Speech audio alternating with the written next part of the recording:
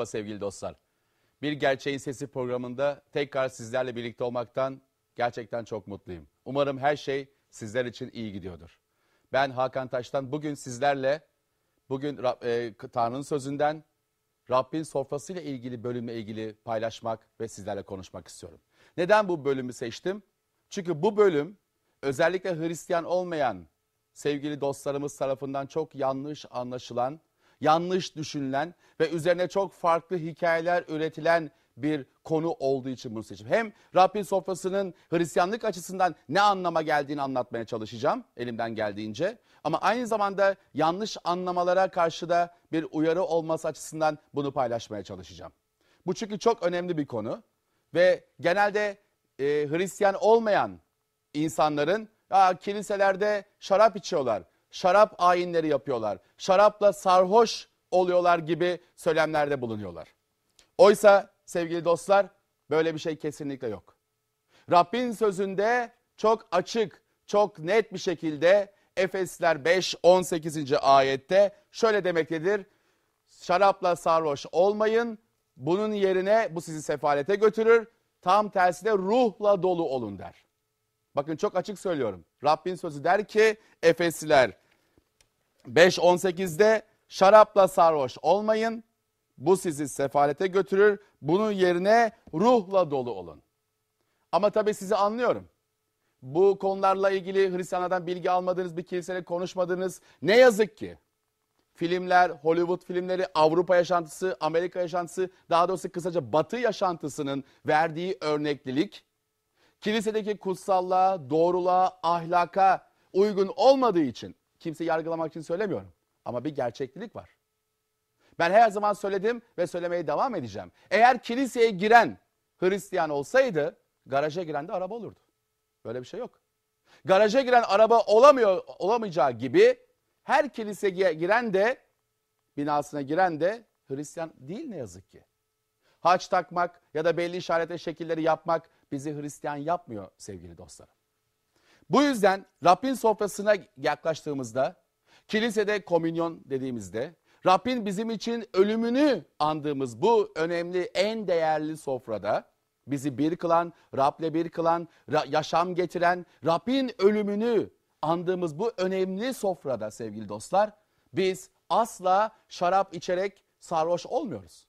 Az önceki ayeti okudum. Rabbin sözü bu konu çok net bir şekilde bizi uyarıyor. Şarapla sarhoş olmayın. Bu sizi kötülüğe, sefalete götürür. Zaten bunu biliyoruz. Alkolizmin ne kadar büyük problem olduğunu, alkolün nasıl evlilikleri yok ettiğini, alkolün nasıl çocukları mahvettiğini, alkol nasıl insanlığı kemirdiğini ve bunun bir günah olduğunu biliyoruz. Evet, şunu iddia etmiyoruz.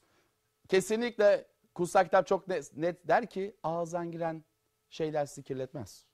Yüreğinizden çıkan sizi kirletir kötü düşünceler, ahlaksız düşünceler ve söylemler. Kabul ediyorum. Ama bu, bu şu demek değil. Ben nasıl ağzımdan giriyor beni kirletmiyorsa ayeti düz alıp o zaman ben bir şişe şarap içerim, iki şişe içerim, sarhoş olurum. Böyle bir şey yok. Rabbin sofrasına yaklaştığımızda sevgili dostlarım, kilisede şarap ayini yapılmıyor. Rabbin sofrasının ayini yapılıyor. İbadeti ve anması yapılıyor. O nedir? Biraz kutsal kitaptan bakmaya çalışalım ve biraz daha kutsal temelli, kitap temelli bunu açmaya çalışalım. Çok açık bir şekilde kutsal yazılarda 1. Korintiler 11. bölümün 23 ve 24. ayetlerinde Rabbin sözü çok açık ve net şunu söylüyor. Diyor ki Pavlus size ilettiğimi ben Rab'den öğrendim. Zaten tüm bunlar Rabbin vahisi alınan kutsal ruh aracılığıyla yazdırılan sözlerdir. Kişilerin kendi sözleri kesinlikle ya da kendi yorumları kesinlikle değildir. Ele verildiği gece Rab İsa eline ekmek aldı, şükredip ekmeği böldü ve şöyle dedi. Bu sizin uğrunuza feda edilen benim bedenimdir. İsa Mesih çarmıha çıkmadan önce, çarmıha gitmeden önce öğrencileriyle bir yemek yedi. Fısıh bayramı arefesinde. Fısıh yemeğini. Ve burada öğrencilerin hem ayaklarını yıkadı hem onlara bir örneklilik gösterdi. Ama aynı zamanda ekmeği böldü. Dedi ki bu ekmek benim bedenimdir. Beni anmak için böyle yapın. Bu ekmek benim bedenimdir Beni anmak için böyle yapın. O zaman niçin bunu söyledi kutsal yazılarda İsa Mesih? Niçin ekmekle İsa Mesih'i kıyaslıyoruz? Çünkü eski ayitte gerçekten İsrailler Mısır'dan çıkarken çıkmak için uğraşırken, Tanrı Firavun'u on belayla vururken, ilk oğulları öldürürken, ilk doğanları öldürürken ya da kurbağalarla Nil'i kana çevirmesi ya da farklı farklı belalarla vururken halkını çıkartmak istediğinde en sonunda Firavun Rabbin uyarıları ve yargısı sonucu halkı saldığında İsrailler vaat edilen topraklara vaat edilen topraklara büyük bir kalabalık olarak yürüyorlar. Tabii çöl ortamı. Su lazım, yemek lazım, yüz binlerce insan ve Rab onlara gökten man gönderdi. Göksel ekmeği gönderdi. Ve bunda yiyip içip doydular. Bunda beslendiler. Şimdi İsa Mesih aynı şekilde diyor ki inancımızın en temel gerekliliğidir. Bakire Meryem'den doğmadan önce de İsa Mesih'in var ve gerçek olduğu inanıyoruz Rabbin sözü olduğu için. Göklerden geldim diyor. Gökten inmiş diri ekmek benim dedi İsa Mesih. Benim. İşte bu yüzden gökten düşen diri ekmek olduğu için çok açık bakın okuyacağım sizlere. Yuhanna 6. bölüm 33. ayet. Yuhanna 6 ve 33. ayetlerde. Şöyle diyor Rabbi sözü. Çünkü Tanrı'nın ekmeği gökten inen ve dünyaya yaşam verendir. Gökten inen ve dünyaya yaşam verendir diyor sevgili dostlar. Onlar da dediler ki halk, Efendimiz bizlere her zaman bu ekmeği ver. İsa, yaşam ekmeği benim. Bana gelen acıkmaz, bana iman eden hiçbir zaman susamaz dedi. Ne demek bana gelen acıkmaz? Ama insanlar dünyasal ekmekleri yediklerinde yine acıkıyorlardı. Günde ortalama üç kere yemek yiyoruz, üç kere ekmek yiyoruz. Acıktığımız için yiyoruz. Ama İsa başka bir şey anlatıyor. Başka bir ruhsal gerçeklik, ruhsal değerlerden bahsediyor. Atalarınızın çölde yediği ekmek gibi değil diyor İsa. Çünkü onlar yedikleri halde öldüler. Ama benim vereceğim ekmek gökten inmiş öyle bir diri ekmek var ki Musa ile çıkan halkın yediği ekmek gibi değil. Evet onu babam verdi size ama şimdi babam size öyle bir ekmek veriyor ki bu ekmekten yediğinizde asla ölmeyecek, asla acıkmayacak ve asla susamayacaksınız dedi. O zaman Rabbin sofrasını yaptığımızda, devam ettiğimizde çok başka gerçekliklerle karşılaşıyoruz sevgili dostlarım. O zaman İsa Mesih ne dedi Rabbin sofrasında? Bu ekmekten yiyen ölmeyecek. Şükretti, ekmeği böldü. Ve feda edilen bedenim dedi. Aynı şekilde bakın devam ediyoruz. Diyor ki yine Rabbin sofrasında kilisede yapılan ibadet ve anma zamanında beni anmak için böyle yapın. Aynı biçimde yemekten sonra kaseyi alıp şöyle dedi. Bu kase kanımla gerçekleşen yeni antlaşmadır. Her işlerinizi beni anmak için böyle yapın. Şimdi işte burada kaseyi aldık. Bir bardak kase, içeride 50-60 ya da 100 kişi. Tabi üzüm suyu yani şarap içinde var. Çoğu zaman da üzüm suyu kullanıyoruz. Meyve suyu kullanıyoruz kırmızı renkli. Neden? Çünkü simgesel olarak bu kan değil. Simgesel olarak Rabbin bizim bizim için çarmıhta akıttığı kanı, günahların bedeli olan, günahlara kefaret olarak yeni antlaşmanın aracısı olan kanı simgelediği için bunu alıyoruz, üzüm suyunu alıyoruz şu kadar değil bile bir bardak su kadar bile olmayan üzüm suyunu 50-60 kişi aralarında efendileri Rablerin ölümünü anmak için kefaretini anmak için yapılan bir ayindir bu. Yoksa kilisede insanların haşa ve haşa alem yaptığı, şarap alemleri yaptığı, yiyip içtiği dönemler değildir. Ama ne yazık ki birçok medya kuruluşunda, birçok Hristiyan olmayan kuruluşlarda, insanlarda, birçok yetkili olan donanımlı insanlarda bile farklı sözler, hatta alay edercesine, küçümsercesine sözler görüyoruz. Bunu yıllardır görüyoruz. Bu yeni bir şey değil. Bu yüzden bu konuya parmak basmak ve bunu biraz açmak istedim. Kutsal yazılar çok net. Çok net. Yaptığımız şey şarap içmek ve bunun sonucunda sarhoş olmak değil sevgili kardeşlerim, sevgili dostlarım. Yaptığımız şey gökten inen ve bize yaşam veren Tanrı'nın oğlu Mesih İsa'nın saladığı kefaretin saladığı yaşam ekmeğidir. Bu yaşam ekmeği bize umut, sonsuz yaşam veriyor diyor kutsal yazılar. O yüzden kardeşlerim biz hiçbir zaman bunu yapmıyoruz. Bunu kötü niyetli kullanmıyoruz. Bir ufak damla gibi alınan bu anma şarap içmek ya da şarapla sarhoş olmak değil. Yine söylüyorum. Ayet çok açık. Şarapla sarhoş olmayın. Bu sizi sefaate götürür ama ruhla dolu olun diyor.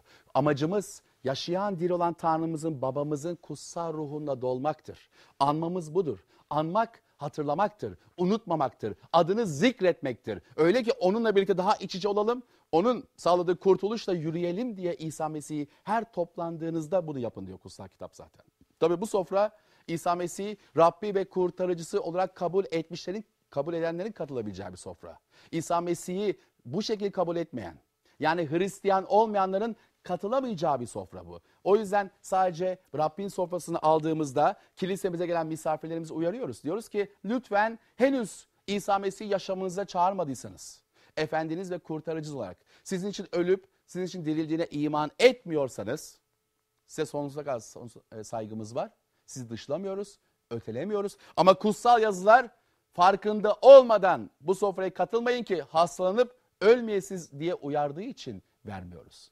Ama İsa Mesih'i kabul eden herkes, İsa Mesih'i Rabbi ve kurtarıcısı olarak kabul eden herkes ise sevgili kardeşlerim bu sofraya yaklaşabilir. Rabbi anmak için ekmeği, bir lokma ekmeği alabilir, bir lokma üzüm suyunu ekmekle birlikte alıp Rabbini anabilir. İşte kiliselerde yapılan anma töreni budur. Mesih'i yüceltmek, Mesih İsa'yı anmak ve ona onunla birlikte farklı uluslardan, farklı dillerden olsak bile, farklı renklerden olsak bile onunla birlikte, onun sağladığı kurtuluş çarmıhla birlikte biz bir olduğumuzun, tek bir beden olduğumuzun ve başımızın ve bedenin başının Efendimiz İsa Mesih olduğunun ilanıdır bu. Başka hiçbir şey değildir. Tabii ben bu gibi yaklaşımlara, bu gibi söylemlere anlayışla karşılayabiliyorum. Çok kızmıyorum. Çünkü az önce de söyledim.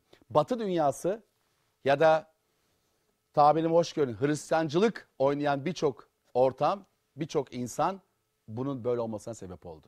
O Hollywood filminde patlayan kiliseler, şaraplar, günahlar ya da kilise hizmetinde bulunduğunu iddia edip ama kilisenin gerçekten öğretişine ve kilisenin hizmetine, kilisenin değerlerine, kilisenin temel taşlarına karşı olan bu davranışlar yüzünden haliyle halkımız inanılmaz derecede Hristiyanlıkla ilgili ön yargılara, yanlış bilgilere, çarpıtılmış bilgilere, bunları daha sonraki paylaşımlarımızda tek tek gireceğiz. İncil'in değişmiş olması ya da kaç tane İncil olduğu, İsa Mesih'in kim olduğu, çarmıh konuda tek tek değineceğiz. Bunlarla ilgili çok ciddi ön yargılar ve çok saçma e, söylemler bulunuyor ne yazık ki. Kutsal kitaba uymayan, kutsal kitabın anlattıklarına yakışmayan. O yüzden benim size tavsiyem sevgili kardeşlerim, dostlarım, lütfen dünyada çizilen, insanların yarattığı çizilen Hristiyanlığa lütfen bakmayın. Kıyafetlere, şekillere, resimlere, heykellere bakmayın. Bakacağınız şey İncil'de anlatılan Mesih'in kendisi olsun. Mesih dün, bugün ve sonsuza dek aynıdır diyor kutsal kitap. Diri olan İsa ezeli ve ebedidir. Asla değişmez, asla onda karanlık yoktur, asla döneklik ruhu yoktur sevgili kardeşlerim. Bu yüzden biz İsa Mesih'i her toplandığımızda anmak, her toplandığımızda ekmeği ve üzüm suyunu paylaşmak ve kardeşlerle birlikte birlik ruhu içinde bunu bu töreni yapmak istiyoruz. Ve sevinçle bunu yapıyoruz. Çünkü her ne kadar bunu anıyorsak, her ne kadar bunu dillendirip zikrediyorsak bu bizim için Efeslerdeki ayetteki ruhla dolmamız. Ruhla gerçekten daha yakın bir paydaşlığa girmemiz. Böylece Rab'be yaklaşmamız için bizim için çok önemli bir artıdır. Çünkü Rabbin sözü diyor ki Rab ruhtur ve Rabbin ruhu neredeyse orada özgürlük vardır. O zaman biz ne kadar Rabbin ruhuyla birlikte dolar ve gerçek olursak o zaman özgürlüğümüz ve yaşam alanımız da bu kadar gerçekten genişleyecektir. İleriki paylaşımlarımızda hep söyle, söyleyeceğiz. Sık sık hatırlatacağız. Belki bazı şeyleri aynı şeyleri tekrarlayacağız ama hiç önemi yok. Önemli olan anlamamız, önemli olan öğrenmemiz. E, eski ayete baktığımızda çok net resimler görüyoruz. Örneğin eski ayette insanlar kurbanlar sunuyorlardı. Ve o kurbanların kanı aracılığıyla Fısıh bayramında, Arınma bayramında Nisan ayına denk gelen hamursuz denen bayramlarda Mısır'dan çıkışı kutladıkları, Mısır'dan yani kölelikten çıkışı kutladıkları, Firavun'un baskısından, Firavun'un zulmünden çıkışı kutladıkları ve anmadı, andıkları bu günlerde kurban keserlerdi. Yahudiler bunu sunarlardı. Kahin bu sunulan kanı alırdı ve halkın üzerine serper ve ahit sandığın üzerine serperdi. Ve derdi ki halk secde edip eğildiğinde işte Allah'ınız Rab bu kan aracılığıyla sizi kutsamış ve günahlarınızı örtmüştür derlerdi. Yine aynı şekilde hatırlayacaksınız. Bilenler bilecektir. İz, e, on emri zamanında, e, on bela zamanında pardon. İnsanlar Firavundan kurtulmak için uğraşırken, Rab onu yargılarken en son bela olarak Rab dedi ki Musa ile Harun'a kusursuz bir yaşını geçmeyen erkek oğlak kuzu alacaksınız. Ve bunun kanını kapıların üzerine süreceksiniz. Yahudilerin, imanlı olanların. Ve kapıların üzerine süvelerine süreceksiniz. Bu kanı gördüğümde ölüm meleği oradakilerin ilk doğanlarını asla vurmayacak ve asla öldürmeyecek dedi. Ama bu kan nerede yoksa, bu kan nerede kapılarda sürülmemişse o zaman oradaki ilk doğanları ölüm meleği vuracak dedi. Ve o gün geldiğinde yani Yahudiler o Rabbin emriyle Musa aracılığıyla söylenen sözler aracılığıyla bu kapılara, bu kapıların süvelerine bu kurban kanını, kuzuların kanını sürdüler. Ve ölüm meleği geldiğinde kanı gördüğünde oraya dokunmadı. İlk doğanları öldürmedi, hayvanlarını öldürmedi, oğullarını, kızlarını, oğullarını öldürmedi. Ama ama ben Ra'nın oğluyum, Tanrı'nın oğluyum diyen o zamanların en büyük uluslarından gücü olan, her açıdan güçlü olan e, Firavun'un oğlu bu kan olmadığı için ilk doğan oğlunu Firavun yitirdi. Bu son 10. belaydı. Bundan sonra zaten İsrail halkının çıkmasına ve özgür olmasına izin verdi. Dikkat edin. Bu çok önemli bir resimdir. Bu Rabbin sofrasını anlamamız açısından eski ayetteki önemli resimlerden bir daha çok var. Eğer bunların hepsine tek tek girsek bu vaazı herhalde biz iki gün boyunca konuşmamız gerekecek sevgili dostlar. Ben her zaman söylüyorum eğer Tevrat ve Zebur olmasaydı asla İncil'e iman etmezdim.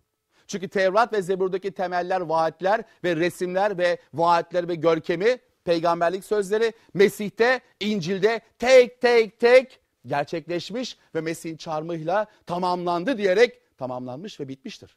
Ve sonu gerçekleşmiştir. Bu yüzden işte o gün bu kuzuların ve keçilerin kanı nasıl kapıların üzerine sürüldüğünde insanlar ölmediyse, hayvanları ve oğulları, ilk doğanları ölmediyse işte şimdi İsa'nın çarmıh takıttığı yeni antlaşmanın aracısı olan kan, günahları örten kan, insan ırkını özgür kılmak için kurtaran kan. Şimdi yine Rabbin yargı günü geldiğinde, Rabbin gazabı geldiğinde, tüm ulusları yargılamak için Efendimiz İsa Mesih görkemli şekilde geri döndüğünde bu kanla örtülmüş ve kutsal ruhla mühürlenmiş herkes, ruhla doğmuş herkes, yani yeniden doğmuş herkes özgür kılınacak. O gün nasıl İsraillere, Yahudileri o kurban kanı Firavundan ve ölüm meleğinden kurtardıysa, şimdi İsa'nın çarmıh takıtı kan aracılığıyla da iman eden herkes, hiçbir ayrım yapılmaksızın Mesih'in lütfu sayesinde yeni antlaşmanın kanı aracılığıyla kurtulacaktır sevgili kardeşlerim. Bu yüzden Bunları hatırlamak çok önemli. Bu yüzden işte Rabbin sofrasını anmak ve paylaşmak kilise için çok önemli. Bu yüzden sarhoş olmak için haşa kiliseye gelmiyoruz. Kilise Rabbin kutsallığının, Rabbin doğruluğunun, görünmez Tanrı'nın yeryüzündeki işlerin açığa çıkması için Rabbin kullandığı bir halk topluluğu. Kilise zaten eklesiya, seçilmiş halk, seçilmiş cemaat, Allah tarafından, Rab tarafından ayrılmış halk anlamına gelir. Yoksa kilise dört sütun, beş sütun, kubbesi olan binadan, betona oluşan bir yer değildir. Bu kilise değildir sevgili kardeşlerim İncil'e ve Hristiyanlığa göre. Kilise yani Rabbin evi denen şey biziz. Bu yüzden bu işte ekmeği ve üzüm suyunu alıyoruz. Bu bedene, Rabbin bedenine bu sayede yapışıyoruz, birleşiyoruz. O zaman biz de Rabbin kutsal ruh aldığımızda, iman ettiğimizde Rabbin evi oluyoruz. İşte bu sayede biz gerçekten Rab'le birlikte yürümeye devam ediyoruz. Elimizden geldiğince ruhla dolu olmaya çalışıyoruz. Ne kadar imanımız var, ne kadar Rab'le yürüyoruz, onun yüreğimizi Rab biliyor. Ama şunu biliyoruz. Zayıflıklarımız var, zorluklarımız var ama Rab bizimledir. O yüzden eğer siz de bu ön yargılardan kurtulur, bu insanların dedikodularından ve ve gerçekten kötü sözlerinden uzağa düşer. Gerçeği görmek isterseniz ve bu programlar aracılığıyla yüreğinizde bir kıvılcım, bir ateş, Rabbin ruhu sayesinde gerçekten Rabbe karşı bir açlık olursa sevgili kardeşlerim lütfen bizleri arayın. Elimizden gelen her türlü yardımı ruhsal anlamda sizlere yapmaya, manevi anlamda size destek olmaya hazırız. Çünkü Rab sizleri seviyor. Sizlerin de bu Rabbin sofrasına katılmasını, bu ekmekle ve bu üzüm suyuyla gerçekten Rab'le bir olmanızı amaçlıyor. Biz de bunu istiyoruz. Neden? Çünkü Tanrımızın yüreği merhamet doludur. Rab bir gün bana çok gerçekten kutsal yazılar aracılığıyla konuştuğunda çok net bir şey söyledi. Ki karşılıksız aldığını karşılıksız vereceksin. Ve insanlara şöyle söyledi kutsal yazılardan. Dedi ki babanız merhametli olduğu gibi siz de merhametli olun. Çünkü Rabbin ruhu içimizde.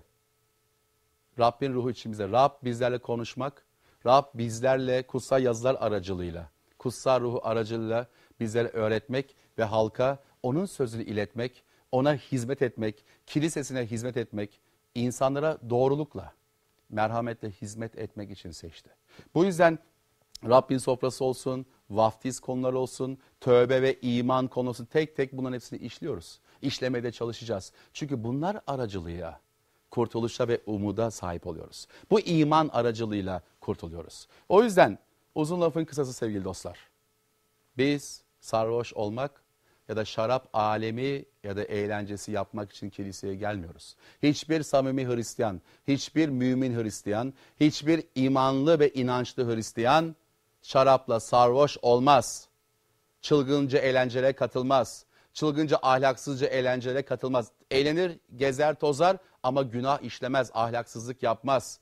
Bu yüzden kimsenin karısına, kızına kötü gözle bakmaz, zina yapmaz. Evlilik öncesi asla ve asla samimi Hristiyan bir vatandaş ve kardeşim cinsel ilişkiye girmez.